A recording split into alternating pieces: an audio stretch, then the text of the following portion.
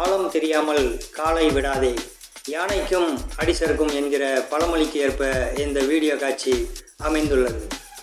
சகதியில் சிக்கிக்கொண்டு மேலே வர முயற்சிக்கும் இந்த யானையின் வீடியோ இணையதளங்களில் வைரலாக தற்போது பரவி வருகிறது.